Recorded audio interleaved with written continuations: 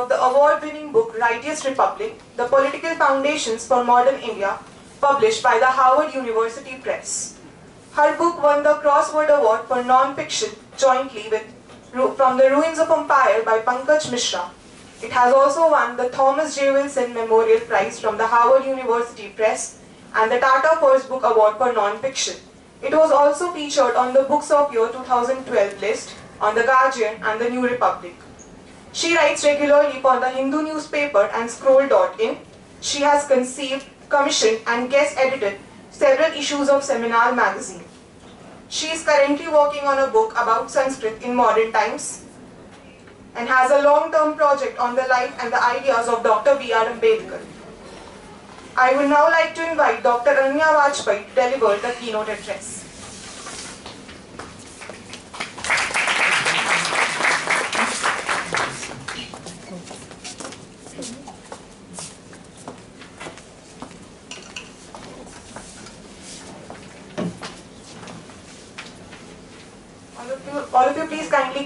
ensaio, estamos no sair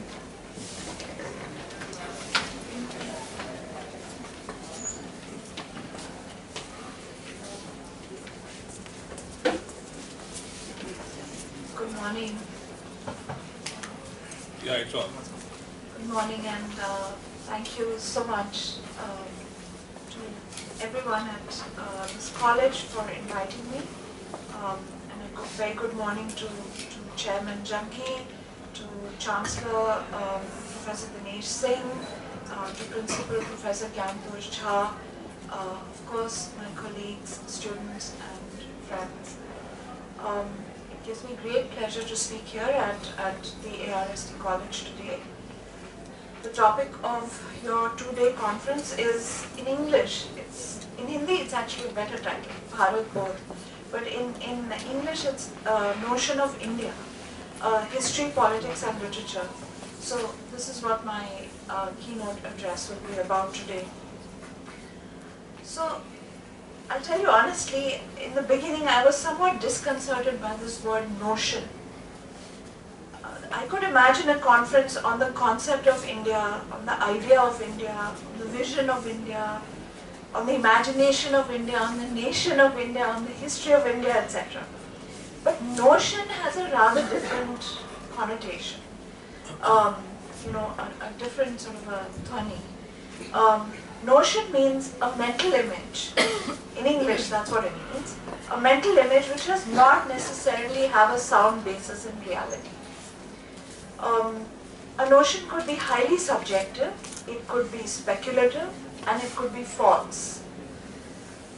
In Hindi, I think there are many close translations. I was not sent this uh, both. I was not sent both. But I looked it up and I found many, many, many words which were given as translations of motion, including mat and rai. Um, but I would have understood it in the first place as something like abhas. And in the worst case, in the most negative sort of sense, as bhram or pranti or galat. Um, you know, something which is khayali, which is kalpit. Not kalpanic, but kalpit. Um, so there's a sense of uncertainty, there's a lack of objectivity, and it's not determinate. That's what a notion is. So a notion is like an illusion, a misconception, or a misapprehension. It's some belief that we hold on to in our mind, which is not well correlated with the facts, and it need not reflect the actual state of the world outside our head. That's how I understand the term notion. So I asked uh, uh, the faculty member who first invited me he was sure that notion was the best word to use in giving the title of a conference. He did not have a ready reply. So I began to think, is India notional? Is it unreal? Does its, does its conception change from person to person? Can we find any sort of common ground, in fact, between our myriad notions about India? I might have one image of India that makes sense to me. You might have another meaning that you carry around based on your understanding of India. Now, if everybody has their own notion, then how can we be sure that we are even talking about the same thing? Kept on reflecting, it struck me that it is true, actually, that we all have very different notions of what India is. For example, my notion is that as a modern nation state, India came into existence in 1947. Someone else might subscribe to the notion that India has existed as such for centuries and millennia, that it is timeless and eternal. Might have the notion that India is a secular republic based on the Indian constitution. Someone else might have the notion that it is a Hindu Rashtra based on the religion of the majority of Indians. I might have the notion that the northern borders of India are disputed with Pakistan and Kashmir and with China in Ladakh. Someone else might have the notion that India is in fact Akhand Bharat, a Sindhu Sindhu Paryanta, stretching from the Indus River to the Indian Ocean. I might have the notion that the meaning of democracy is not simply that every Indian can cast a vote, but that every Indian has fundamental rights, including the right to political representation via a popularly elected government.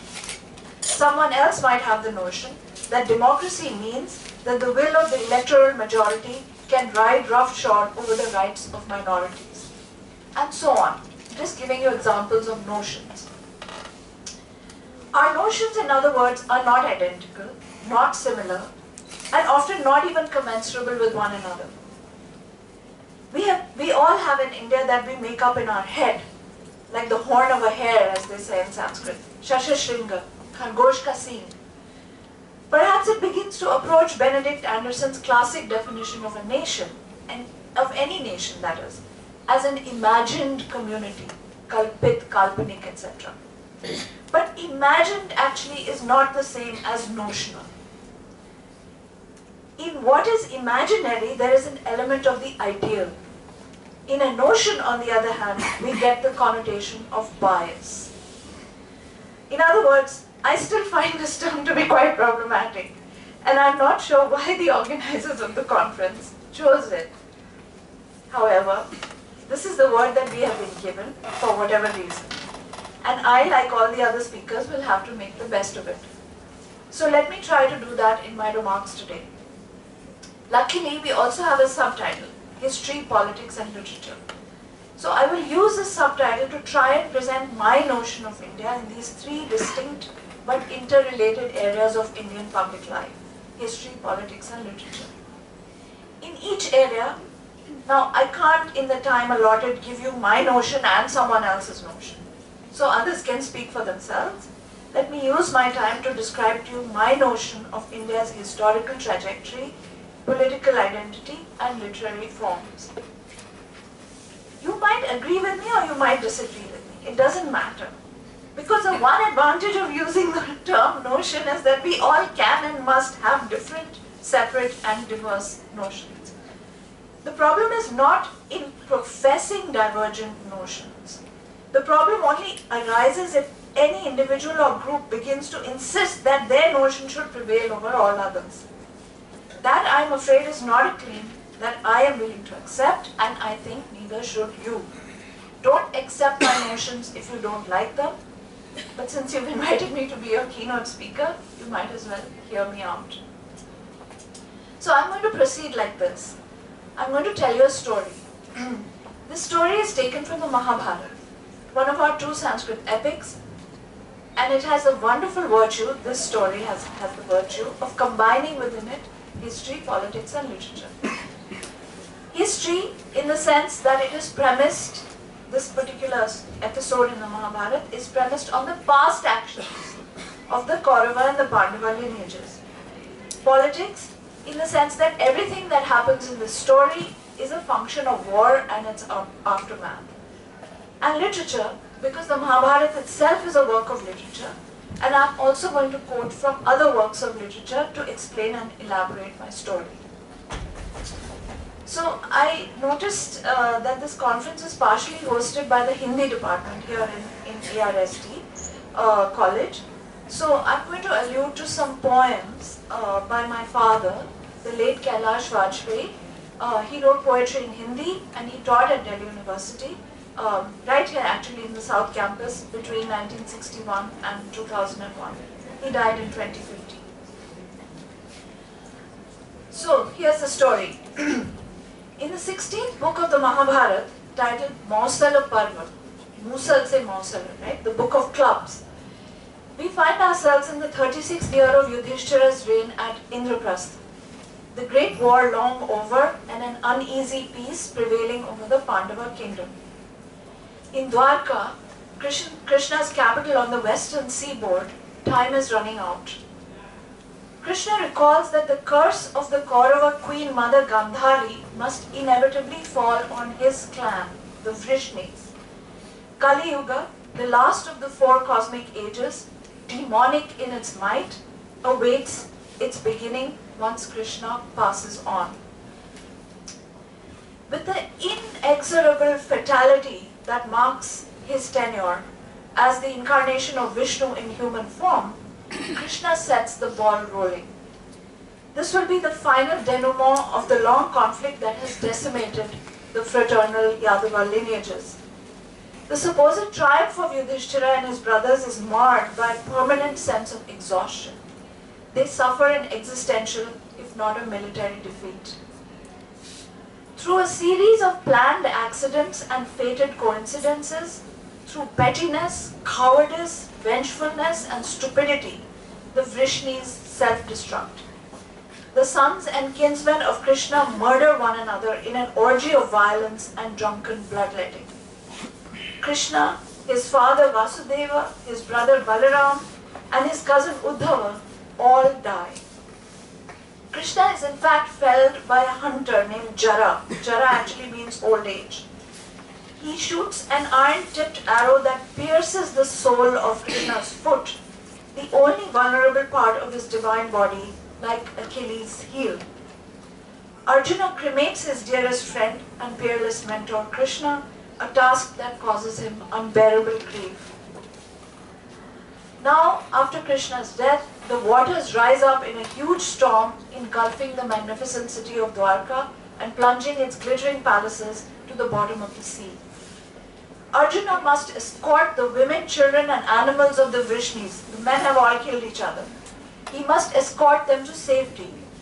But his capabilities as a valorous warrior are fatally depleted. As the refugees in his care attempt to flee from the massacre and the subsequent deluge, as they flee north to Hastinapura, Arjuna cannot stave off an attack of highway robbers on the way. And this happens in the land of the five rivers. That's the term used in the Mahabharata. So by the time Arjuna returns to Indraprastha, his rescue mission failed almost entirely. Yudhishthira sees the writing on the wall. The war that his side had supposedly uh, won has actually been lost. It is time for the Pandavas to give up their kingdom and depart for their final death march to the high Himalaya. Krishna is gone from the world of men Dwapara Yuga has ended, Kali Yuga begins in right earnest.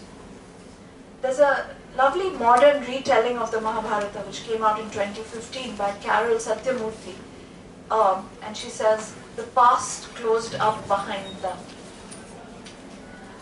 So in my late father Kailash Vajpeyi's Hindi poetry collection, Duba Sa Anduba Tara, this was published in 2011, um, we find a series of tableau, dialogues and meditations. They all unfold underneath the Ashwatha tree in the mysterious Prabhas Kshetra, a luminous stretch of wooded beach between land and sea where the immortal Krishna paradoxically awaits his demise. Badi Gehin Gatha hai Hatya ki, the blue-skinned one ruminates. The saga of killing is unfathomable. So in the Bhagavad Gita, Krishna revealed himself to Arjuna as time, Kala.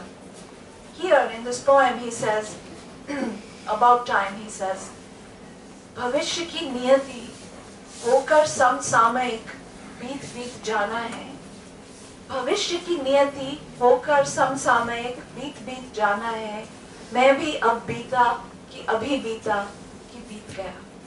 This is Krishna speaking the future must become present and then past I too am about to pass but I am passing and no I have passed away a little later Krishna says to Jara the hunter the same hunter old age whose name means old age, um, he's already shot Krishna, and the arrow has started, has pierced his foot, and the poison is entering Krishna's blood. So Jara begs Krishna's forgiveness, and and and Krishna says to him, he begs, uh, uh, Jara begs forgiveness for mistaking the god's darkly glowing foot for the eye of a deer. And Krishna says to him, क्षमा का कोई संप्रदाय नहीं forgiveness transcends all sectarian, sectarian differences. असल में क्षमा ध्रुव तारा है Truth be told, forgiveness is the pole star, the one fixed point that orients the vast, slow turning of the moral universe. Now, this short poem, it's called Krishna Ka Kshamadhan, uh, Krishna's act of forgiveness, is strongly reminiscent actually of Portia's speech in Act 4 of Shakespeare's Merchant of Venice, um, where we see the lines, the quality of mercy, Kshama, the quality of mercy is not strained, it droppeth as gentle rain from heaven upon the place beneath.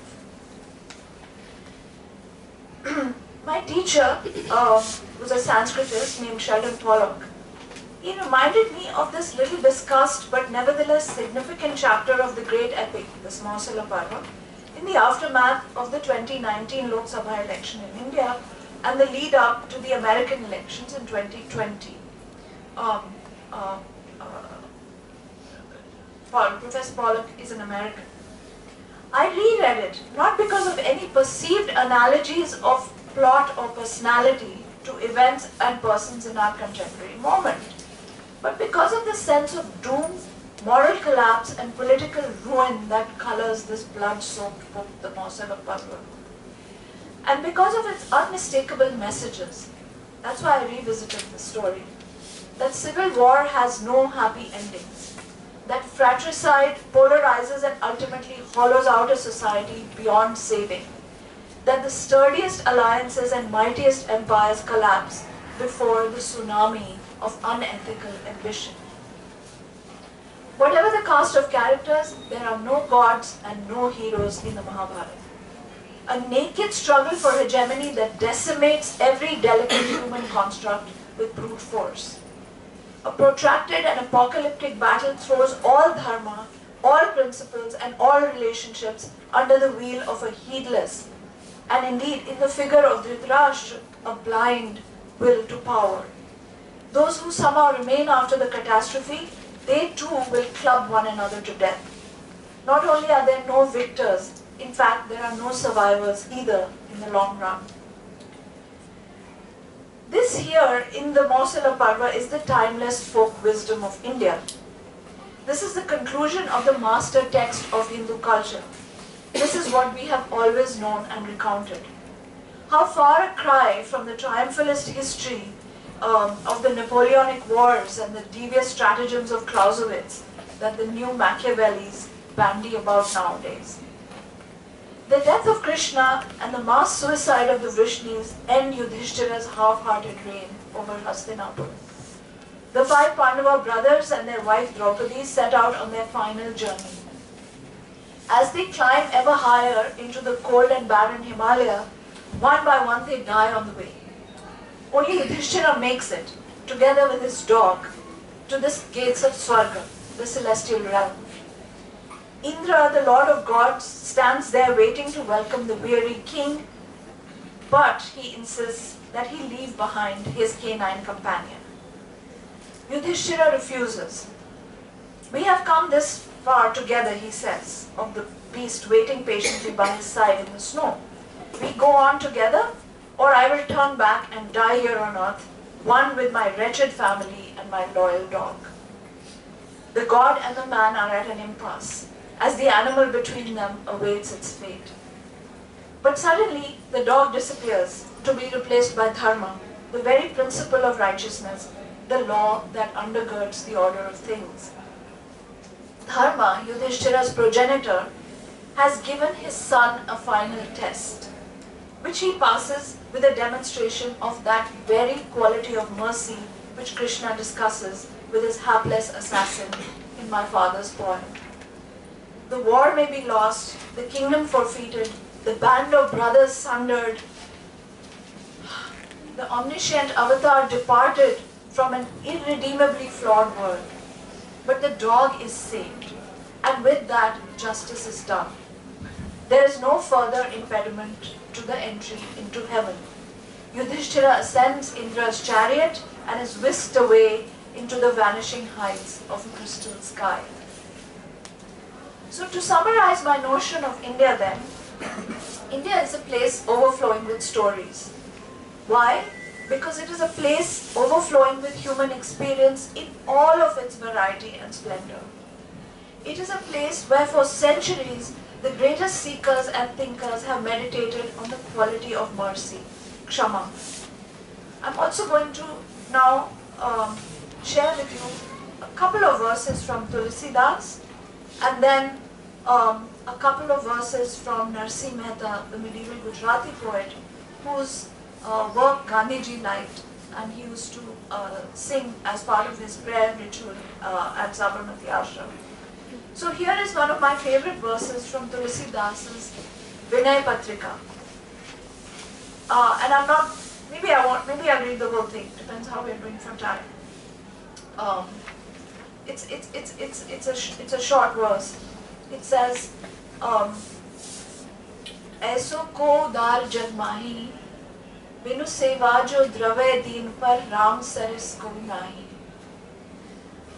जो गति जोग विराज जतन करी नहीं पावत मुनि ज्ञानी, सो गति देत गीत शबरी सब प्रभु न बहुत जिए जानी।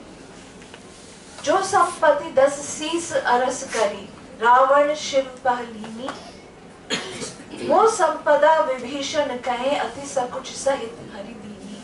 I just explain it you Tulsidas सब भ्रांति सकल सुख सब भांति सकल सुख जो चाह सी मन मेरो। तय भजु राम, काम सब पूरन करे, कृपा निधि तेरे। Okay so the main line which I love and Pandit Chandralal Mishra sings this you must hear it ऐसो को उदार जग माही, बिनु सेवा जो द्रवे दीन पर नाम सरस को नाही। दिस मीन्स दैट कौन ऐसा उदार है इस जग में, जैसे नाम है? बिनु सेवा जो द्रवे दीन पर who pours his mercy onto the most wretched even without their effort even when they don't do any service to Ram Ram has so much mercy so much udarta so much of this quality of mercy in him that he showers his grace upon the wretched बिनु सेवा जो द्रवे दीन पर राम सरस कहूँ नाही this is my notion of Ram, by the way. And then he explains that he was kind to the wretched bird Jatayu uh, who died trying to save Sita from abduction. He was kind to the old woman Shabari uh, who was living the life of an ascetic um, uh, and he gave them the Paramagati. Right? Um, jo gati Shabari kahu Ravuna Bhavutjiyajani, he didn't think a lot about it. He didn't think that he was doing them a big favor. He just gave them the Paramagati, right? And Ravan, in order to gain his prabhutva, you know, his, his sampada, his sampatti, his power, his sovereignty from, from Shiva, he had to sacrifice his ten heads and lay them at Shiva's feet that same power, that same sovereignty without thinking for a second, in fact with hesitation, right? Um, सकुच सहित संकोच के संकोच करते हुए वही संपत्ति वही संपदा राम ने विभीषण को दे दी right this is udar an example of his udarta right so then tulsidas says if you want you want so many things I want so many things. हर भा- सब भांति सकल सुख जो चाहसी मन मेरो तो भजु राम काम सब पूरण करें कृपा निधि तेरो right? he is an ocean of kripa kripa meaning something like udarta right? of grace right? he He is full, he is an ocean of mercy. And whatever it is that you want, however wretched you are, however deenheen you are, you can have it with true devotion to Ram. This is Tulsidasan's vision. Our country, a microcosm of human history, my notion of India, a repository of all experience, an archive of all knowledge, a catalogue of all atrocity, and a beacon of all wisdom. This land that we call by its customary names, India, Bharat, Hindustan, this India, this idea that we call India, this dearly beloved home of ours on whose on a planet whose very survival, in fact, is today in question. What has India come to? Did we exercise our franchise to lynch the weak, deen, to murder minorities, to defend the killers of Mahatma Gandhi? Is that what our wanted civilization was all about? And since I speak of Gandhi and since one of the sponsors of this uh, conference is your Gandhi Ambedkar uh, study circle, I'm going to end with, uh, with, a, with a bhajan which Gandhiji used to sing uh, uh, and have all his followers sing, uh, which all of you know. Um, it's written by Narsi Mehta, a medieval Gujarati poet, um, a bhakti poet. Um, Vaishnav Janto Tene Kahiye Je, Pir Parai Jane Re. पर दुखे उपकार करे तो ए मन अभिमान न आने रे। Now look all those ideas are here in it as well पीर पर जाने, जो दूसरे के दुख को समझे, वही असली वैष्णव है पर दुखे उपकार करे तो right whoever is kind in the face of another suffering without अभिमान, मन अभिमान न आने रे right Let me remind you of this beloved and beautiful song of a man whose political and spiritual memory is daily being impugned in today's India. Let's pay attention to the central theme of this bhajan, which is empathy, the ability to identify with the suffering of another human being. Consider that person to be pious. Vaishnav Janto Tene kahiye, usko kahe aap, says Narsi Mehta, who can feel another's pain, If he reaches out to alleviate another's hurt, par dukhe upkar kare, and if he does so without pride, man abhiman na aane re, right? Out of his own compassion, he reaches out when another person is suffering. How terribly the reigning ideology has distorted the essence of Hindu piety and twists what it means to be a true Vaishnav Jan, the equivalent in medieval Gujarat of a devout Hindu.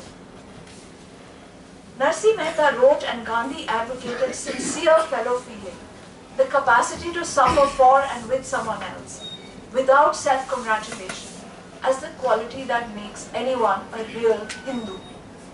A dispensation that normalizes the terrorizing of minorities, the lynching of Dalits and Muslims, and breaking all bonds of human solidarity and mutual respect that have kept us together as a political community despite all sorts of differences, simply does not use the same idiom as Mahatma Gandhi. Nor is it truly Hindu in any recognizable or traditional sense of the term. My notion of India is at odds with the slow, steady erosion of empathy as a public value, leaving us morally impoverished, lesser human beings, and lesser Indians. Thank you for your time.